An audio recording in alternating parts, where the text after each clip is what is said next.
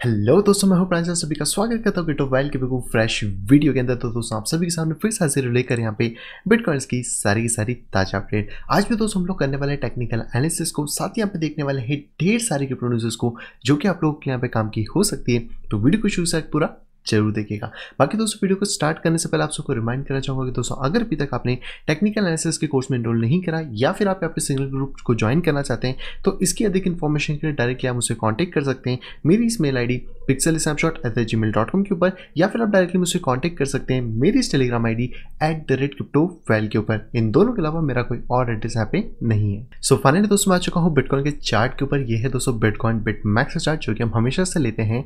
And यहाँ पर जैसे मैंने आपको कल भी बताया था कि हमें एक ब्रॉडकेज पैटर्न यहाँ पे देखने को मिल रहा है, जो कि स्टिल अभी भी प्राइस उसके अंदर है।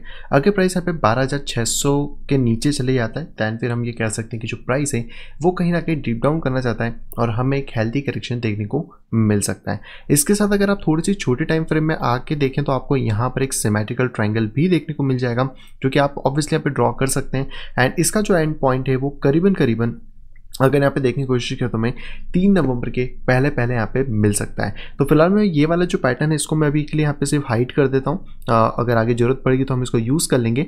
फ़िलहाल मैं अगर मार्केट की बात करें तो हमें एक सिमेट्रिकल ट्राइंगल यहाँ पे देखने को मिल रहा है। आप पैरेंट चाहें तो पैरेंट कह सकते हैं। अगर मार्केट इसके बेस लेयर को यहाँ पर तोड़ देता है जो कि अभी फ़िलहाल में ये वाला एक पोर्शन है थर्टीन थाउज़ेंड के आसपास का। देन मार्केट के लिए जो बेस होगा, वो होगा बारह हज़ार सात सौ के या साढ़े छः सौ के आसपास का। तो फ़िलहाल में बिटकॉइन में ज़्यादा कुछ अपडेट नहीं है। हमें वेट करना होगा कि मार्केट किस तरफ़ जाता है।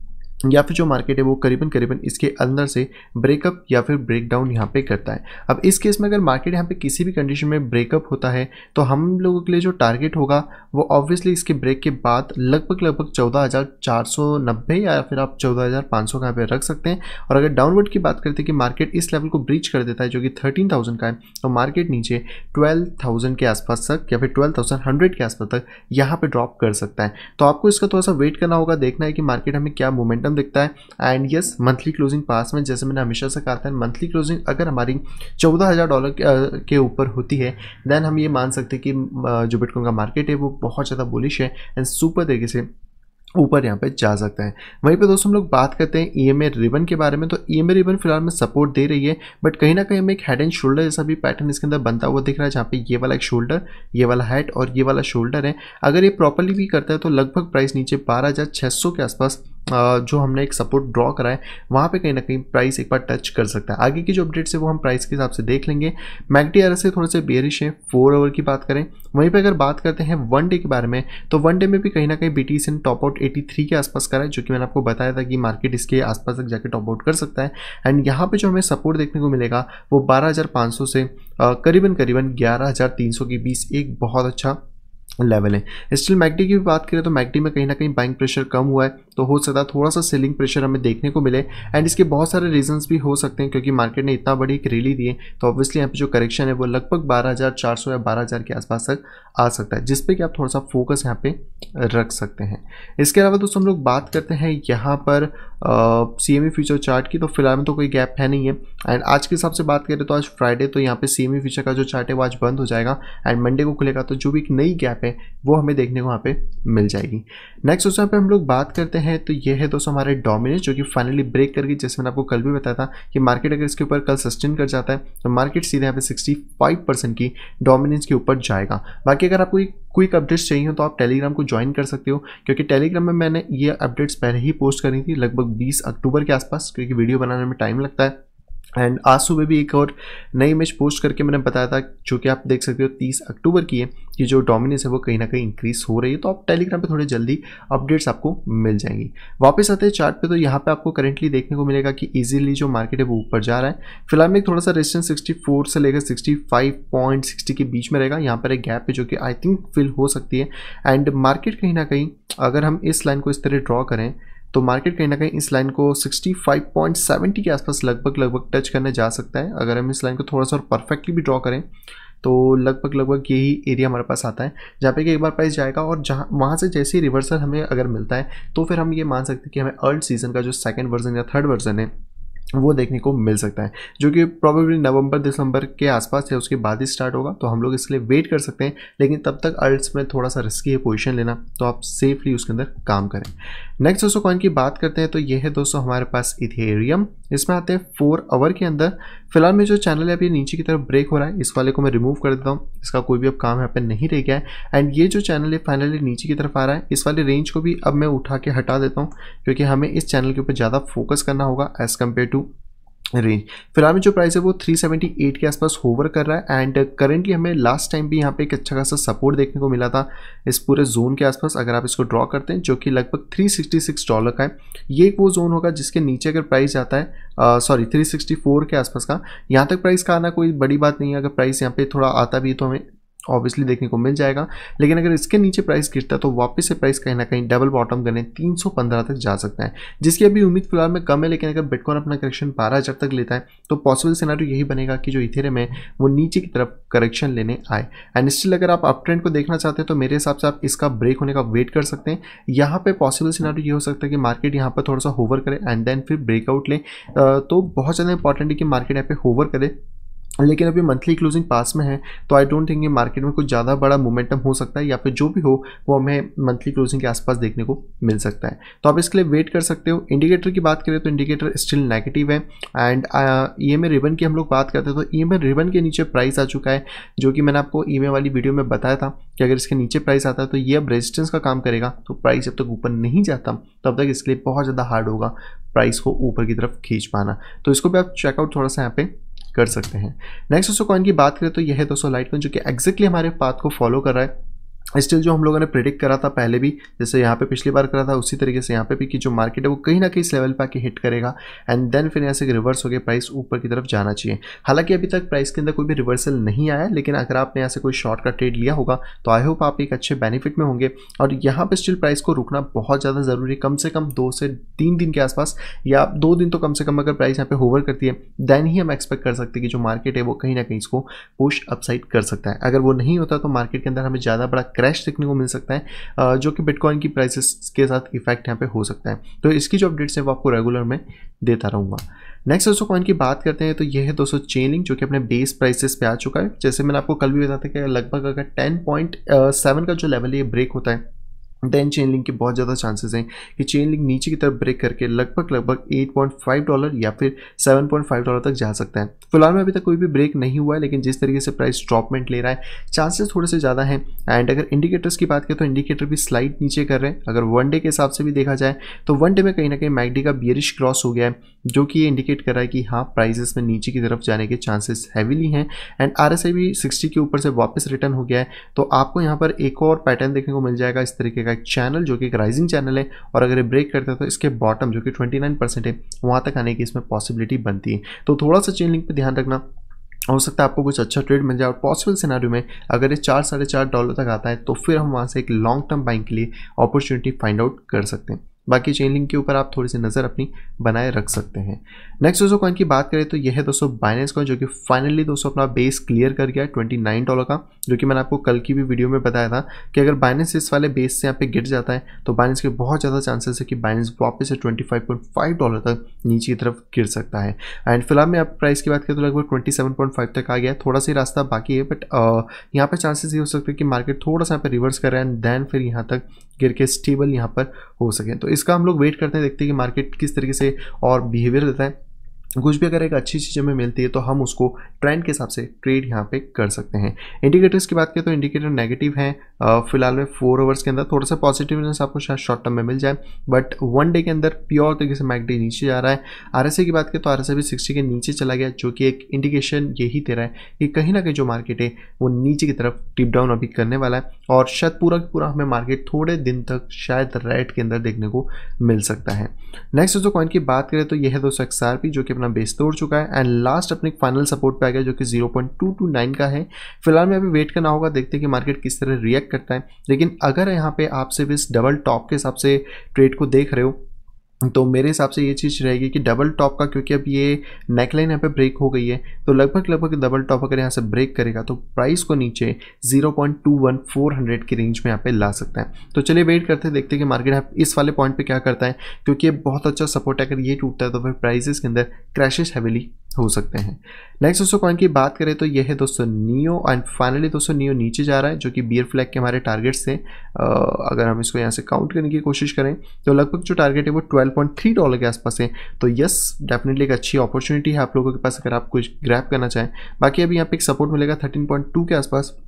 तो चांसेस यही रह सकते हैं कि जो मार्केट है, वो कहीं ना कहीं यहाँ पे थोड़ा सा होवर करे और फिर इसके आसपास आके यहाँ पे ड्रॉप कर सकता है। तो इसके लिए हम लोग देखते हैं कि मार्केट किस तरह बिहेव करता है बट स्टिल अभी भी जो ट्रेंड है वो क्लियर कट डाउन तरफ़ है तो आप थोड़ा सा अभी जो ट्रेड है शॉर्ट्स के वो देख सकते हैं। एंड इसके साथ मैंने बहुत टाइम पहले आपको ये बताया था कि कहीं ना कहीं यहाँ पे हमें एक हेड एंड शोल्डर बनता हुआ मिल रहा है। हालाँकि मैं इसको प्रॉपरली शोल्डर नहीं मान सकता हूँ, क्योंकि इसको यहाँ तक वापस आना चाहिए था, लेकिन फिर भी कहीं ना कहीं हमें कुछ ऐसी पोजिशन मिली हैं, जहाँ पे कि प्राइस नीचे की तरफ़ ड्रॉप कर रहा है। अगर यहाँ पे प्राइसेस स्टेबल हो पाते हैं देन देन डेफिनेटली हम लोग लॉन्ग ट्रेड्स को फाइंड आउट करेंगे। But I think long trade आने में शायद थोड़ा सा टाइम हमें मिल सकता है। नेक्स्ट दोस्तों, जो कॉइन है वो है दोस्तों डॉट जो कि फाइनली नीचे की तरफ़ आ चुका है।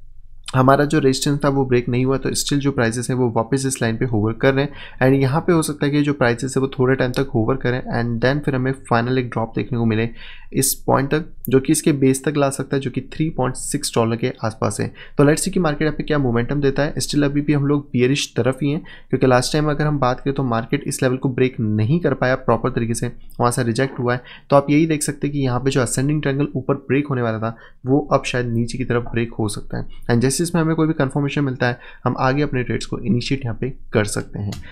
लास्ट दोस्तों, जो कॉइन है, वो है दोस्तों Bitcoin cash and Bitcoin cash भी कहीं ना कहीं अपना सपोर्ट जो है तोड़ने की कोशिश कर रहा है। आई नो कि पंद्रह नवंबर को इसका हार्ट आने वाला है बट स्टिल अभी तक ये टूटा नहीं है तो होप ये है कि अगर एक दिन भी यहाँ पर अगर स्टेबिलिटी मिल जाती है देन फिर चांसेस है कि मार्केट अप ट्रेंड में जाए।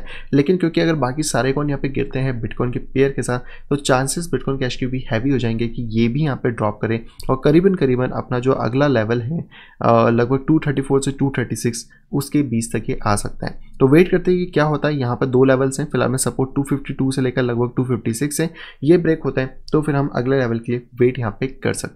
तो बस दोस्तों, आज के सारे कॉइन यहाँ पे हो चुके हैं। अब चलते हैं सीधे अपनी न्यूज़ पे। सबसे पहले दोस्तों, यहाँ पे जो न्यूज़ आ रही है दोस्तों, वो आ रही है डेक्स की तरफ़ से, यानी कि डिसेंट्रलाइज एक्सचेंजेस की तरफ़ से। और डिसेंट्रलाइज एक्सचेंजेस का कहीं ना कहीं जो वॉल्यूम है, वो यहाँ पे ड्रॉप हो रहा है। क्योंकि जो आपको पता होगा कि अभी जितने भी डीफाई के प्रोजेक्ट्स हैं, वो खुद भी यहाँ पे ड्रॉप हो रहे हैं। चाहे मैं येफी की बात करूँ, किस अदर कॉइन भी आप ले लेते हो तो सभी के सभी प्रोजेक्ट कहीं ना कहीं अपना बॉटम तोड़ के बहुत ज़्यादा नीचे चले गए तो हम ये कह सकते हैं जो डीफाई का पूरा सेक्टर है, वो इस टाइम पे डाउन चला है, जिसके कारण जो डेक्स के वॉल्यूम्स है, वो भी डिक्लाइन हो रहे हैं, क्योंकि लोग अपना पैसा ऑब्वियसली निकाल रहे हैं। और इसके साथ साथ जो भी करंटली एक हैक हुआ था, जिसके बारे में मैंने आपको अपडेट करा था, जो कि हार्वेस्ट फाइनेंस का था, कुछ मिलियंस डॉलर का हैक था, उसमें सबसे ज़्यादा जो यहाँ पर हैकिंग आई थी, वो यू और यू एस टी कॉइन के यहाँ पर हमें देखने को मिली थी, जिसमें कि फ्लैश लोन क्रैश का एक्सप्लोरेशन यहाँ पे मिला था। जिसके कारण अगर आप इस इमेज में देखोगे तो एक दिन के लिए जो टैक्स का वॉल्यूम था, वो बहुत ज़्यादा सडनली स्पाइक हो गया था, लेकिन स्टिल जो टैक्स का वॉल्यूम है, वो बहुत ज़्यादा कम है एंड अभी भी जो वॉल्यूम है, वो स्टिल यहाँ पर डिक्लाइन हो रहा है। आप इसके अंदर भी यहाँ पर देख सकते हैं। अलग अलग आपको डेक्सेस मिल जाएँगे, यहाँ पे देखने को कि किसका कितना वॉल्यूम है बट हमें यही चीज़ पता पड़ रही है कि डेक्स कहीं ना कहीं अभी भी इन्फ्लुएंस हो रहे हैं। जो डी के प्रोडक्ट्स हैं या फिर उनकी वजह से तो हमें ये चीज़ ध्यान रखना है कि जो डेक्सेस हैं, उनको थोड़ा सा अलग बनाया जाए फ्यूचर में जो कंपनीज़ बना रही है, ताकि वो इन प्रोडक्ट से इन्फ्लुएट ना हो और वहाँ पे जो वॉल्यूम है वो अच्छा बना रहे। क्योंकि अगर हम सेंट्रल एक्सचेंजेस को यूज़ करते हैं तो कहीं ना कहीं रिस्क बना हुआ है। डिसेंट्रल एक्सचेंज फ्यूचर है, लेकिन उसको इम्प्लीमेंट करना थोड़ा सा हार्ड यहाँ पे। पड़ जाता है। अगली दोस्तों, जो खबर आ रही दोस्तों, वो आ रही है इथेरियम की तरफ़ से और जो सेंट्रलाइज एक्सचेंज जैसे कि मैंने अभी बात करी थी, वो यहाँ पे इथेरियम की वन थर्ड सप्लाई यानी कि ट्वेंटी फोर परसेंट तक की सप्लाई अपने पास होल्ड करते हैं। परसेंटेज टर्म में बात करें तो थ्री टाइम होता है ये बिटकॉइन का, क्योंकि आई नो किसका प्राइस कम है और जो टोटल सप्लाई वो भी बहुत ज़्यादा है। टोटल सप्लाई तो फ़िलहाल में फिक्स नहीं है, पर सर्कुलेटिंग सप्लाई का वन थर्ड यहाँ पे करंटली ये लोग होल्ड करते हैं, जिसमें से हम बात करें तो twenty six seven six eight two sixty ethereum लगभग एक्सचेंजेस के पास है, जो कि twenty three point six percent के आसपास बनता है। जिसकी valuation ten point three billion की है, जिसमें से अकेला कॉइन बेस यहाँ पे eight five two one eight zero seven ethereum जो कि seven point five percent supply है, करीबन करीबन आठ मिलियन की, वो यहाँ पे हेल्ड करता है। तो ये चीज़ थोड़ा सा देखने वाली बात है। अगर इथेरियम की सबसे ज़्यादा सप्लाई एक्सचेंजेस के हाथ में चले चलेगी तो वो एक वेल्स बन जाएँगे। तो ये ध्यान रखना कि इथेरियम की सप्लाई उनके हाथ में ज़्यादा ना जाए। अगर हमारे पास कोई इथेरियम है, जिसको हम लॉन्ग टर्म एटलीस्ट होल्ड कर रहे हैं, उसको अपने सॉफ्टवेयर वॉलेट या हार्डवेयर वॉलेट में रखें किसी भी एक्सचेंजेस में ना छोड़ें, वहाँ पे उतना ही पैसा रखें जितना हमें ट्रेड करना है, ताकि ये प्रॉब्लम जो आगे चल के एक्सचेंजेस क्रिएट कर सकते हैं, कि अगर इनके पास ज़्यादा वॉल्यूम होता है तो इनके पास पावर ज़्यादा आ सकती है, वो यहाँ पे ना हो। अगली दोस्तों, जो खबर आ रही है दोस्तों, वो आ रही है बिटकॉइन की तरफ़ से। दोस्तों बिटकॉइन का एक हिस्टोरिकल डे यहाँ पे आ सकता है। अगर बिटकॉइन का प्राइस दस हज़ार के ऊपर अगले चार से पाँच दिन, यानी कि आज के डेट के हिसाब से बात करें तो लगभग पाँच नवंबर तक अगर ये ऊपर रहता है दस हज़ार के तो ये बिटकॉइन के लिए एक हिस्टोरिकल डे रहेगा। क्योंकि लास्ट टाइम क्या हुआ था, यहाँ पे सौ दिन पूरे हो जाएँगे बिटकॉइन को, कि वो दस हज़ार डॉलर के ऊपर रहने वाला है। फॉर एग्ज़ाम्पल इन्होंने बताया कि जो दस डॉलर था, उसे सौ दिन तक ऊपर रहा था वन ट्वेंटी टू डेज़ तक उस टाइम पे। जब प्राइस हंड्रेड डॉलर था, तब वहाँ पर भी ये ऊपर रहा था, करीबन करीबन दो दिन तक, और जब प्राइस वन डॉलर के आसपास था, तब भी हंड्रेड डे के ऊपर यहाँ पर रहा था। इस इमेज में आप क्लियरली देख सकते हो कि सबसे पहले जब बिटकॉइन का प्राइस एक डॉलर था तो ज़ीरो डेज़ तक ऊपर था। मतलब कुछ वॉल्टिलिटी नहीं थी।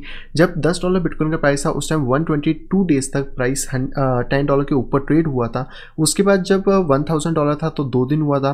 एंड जब 10000 डॉलर का प्राइस यहाँ पे रीच हुआ है तो यहाँ पे 150 डेज़ के आसपास हुआ था, जो कि हम लास्ट ईयर के हिसाब से कैलकुलेट कर सकते हैं। एंड इस बार फिर से अगर ये चीज़ हो जाती है तो करीबन करीबन सौ दिन तक बिटकॉइन का प्राइस दस हज़ार डॉलर के ऊपर यहाँ पे रह सकता है। अब ये हिस्टोरिकल चीज़ें हैं, देखते हैं कि क्या रिप्रेजेंट करती हैं। बट कहीं ना कहीं इसका फैक्टर हमें चार्ट्स के अंदर देखने को मिल सकता है।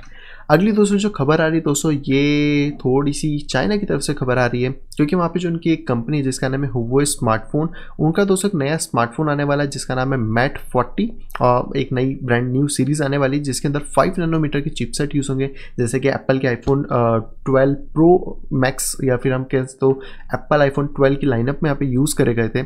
उसी तरीके से क्रीन नाइन हंड्रेड का प्रोसेसर होगा एंड सबसे ज़्यादा इंटरेस्टिंग बात जो है, वो यहाँ पर है कि यहाँ पे चाइना की सेंट्रल बैंक डिजिटल करेंसी के लिए अपना खुद का एक हार्डवेयर वॉलेट यहाँ पे सपोर्ट करने वाले हैं, जो कि ऑब्वियसली डिजिटल युवान यहाँ पे होने वाला है। उसका यहाँ पे इंटीग्रेटेड का हार्डवेयर वॉलेट इनके अब लाइनअप में आना स्टार्ट हो जाएगा। तो जितने भी पीपल चाइना में हैं, जो भी इस मोबाइल को लेते हैं या फिर आने वाली जो सीरीज़ अब लेंगे, उन सभी को ये चीज़ इनबिल्ट यहाँ पे मिलने वाली है। और इसके अंदर यहाँ पे परफॉर्म होंगे डुअल ऑफलाइन ट्रांजेक्शन ये नहीं बताया कि किस तरह होंगे, बस ये चीज़ बताई। तो यहाँ पर बहुत ज़्यादा प्रॉमिसिंग बहुत ज़्यादा कह सकते हैं कंट्रोल या फिर हम कह सकते हैं बहुत ज़्यादा प्रोटेक्टिव वे में ये स्मार्टफ़ोन जो अपना हार्डवेयर वॉलेट है, वो लोगों को देखा कि वो डिजिटल यून को यूज़ यहाँ पे कर सकें। एंड चाइना का कहीं ना कहीं जो गेम प्लान है, वो बहुत ज़्यादा बड़ा है। थोड़ा सा उसको हमें भी समझना पड़ेगा कि किस तरह मार्केट पर इसका इफ़ेक्ट पड़ सकता है। क्योंकि अगर डिजिटल करेंसी आती है तो चाइना की इंडिपेंडेंसी जो यूएस डॉलर पर थी, वो कहीं ना कहीं डाउन होगी, जिससे यूएस डॉलर का जो आज के टाइम में हम कह सकते हैं कि एक बड़ा शेयर जो चाइना की तरफ़ जाता है या आता है, क्योंकि चाइना यूएस डॉलर इम्पोर्ट करता है अपने बहुत सारे कामों के लिए, वो कहीं ना कहीं इससे कम यहाँ पे हो सकता है। तो थोड़ा सा इस पर ध्यान रखें। ये न्यूज़ अगर यूएस डॉलर को कमज़ोर करती है तो कहीं ना कहीं बिटकॉइन को इसका एडवांटेज या फिर जो गोल्ड है, उसको इसका एडवांटेज अच्छा खासा मिल सकता है। अगली दोस्तों, जो खबर आ रही दोस्तों, वो आ रही ईरान की तरफ़ से। और ईरान की दोस्तों, जो सेंट्रल बैंक है, जैसे हमारी आरबीआई होती है, उसको गवर्नमेंट ने अब ये आदेश, आप कह सकते हो या फिर आप ये कह सकते हो कि एक नया लॉ ये क्रिएट कर दिया कि जितने भी लोग बिटकॉइन माइंग करते हैं चाहे बड़ी फॉर्म्स हो या कुछ भी हो, वो डायरेक्टली इनकी जो सी बी आई यानी कि सेंट्रल बैंक ऑफ़ ईरान जो है, उसको डायरेक्टली आके बिटकॉइन सेल कर सकते हैं ताकि वो लोग यहाँ पे फंड को इम्पोर्ट कर सकें। तो ये एक अच्छी बात है अगर आपका सेंट्रल बैंक इस चीज़ को सपोर्ट करता है। बट हाँ इसमें ये चीज़ ध्यान रखना है कि अगर वो कंट्री के सभी पर्सन सेंट्रल बैंक को फंड दे देते हैं तो सेंट्रल बैंक उसको कस्टडी में लेकर लॉक भी कर सकता है। हालाँकि थोड़ी डराने वाली चीज़ भी है, लेकिन एक तरीके से देखा है तो अच्छा है क्योंकि ईरान कहीं ना कहीं थोड़ा खुलता जा रहा है क्रिप्टो के लिए। पहले माइनिंग को अलाउ करा, फिर जो रेगुलेट रेगुलेट करे जो माइनर्स थे उनको। एंड अब कहीं ना कहीं सेंट्रल बैंक का इन्वॉल्वमेंट भी चीज़ में हो रहा है। तो आई थिंक ये शुरुआत है एक मास एडॉप्शन की, जो कि शायद हमें आने वाले 2030 तक एक प्रोमिनेंट वे में देखने को मिल सकता है। अगली दोस्तों, यहाँ पे जो खबर आ रही है दोस्तों, वो आ रही है बिटकॉइन और इथेरियम के, हम कह सकते हैं फ्यूचर एक्सपायरी की तरफ़ से, जिसमें 750 मिलियन की जो है वो एक्सपायरी आज होने वाली है, आज होने वाली है हो गई है ऑलमोस्ट हम ये कह सकते हैं। तो यहाँ पे बताया गया कि 30 अक्टूबर को एक्सपायरी होने वाली है। फ़िलहाल तो मार्केट में इतना कोई खास असर हमें देखने को नहीं मिला है। यस मार्केट डाउन है, वो एक अलग बात है, लेकिन इतना कोई बड़ा मोमेंटम हमें कोई भी देखने को नहीं मिला है। तो ठीक ठाक या फिर हो सकता है कि अभी जब यूएसए का मार्केट यहाँ पे ओपन होगा तो शायद हमें इसका और चीज़ देखने को मिले। तो थोड़ा सा आप यहाँ पे ख्याल रखना 750 मिलियन की यहाँ पे एक्सपायरी है बिटकॉइन इथेरियम की यहाँ पे। मिलाकर। आई होप दोस्तों वीडियो को पसंद आएगी दोस्तों वीडियो को पसंद तो प्लीज़ वीडियो को लाइक करेगा। दोस्तों, अगर वीडियो पसंद आए तो डिसलाइक करेगा। चैनल पर दोस्तों फ़र्स्ट टाइम आए तो दोस्तों सब्सक्राइब करना बिल्कुल भी ना भूलें। साइड में दिखे नोटिफिकेशन बैल को दबा के ऑल के ऊपर क्लिक करें ताकि आप मेरे आने वाली सभी वीडियो के नोटिफिकेशन प्रॉपर टाइम पर पा सके। तो मैं मिलता आपसे वीडियो कुछ और इंटरेस्टिंग वीडियो के साथ। तब तक live a great day and bye bye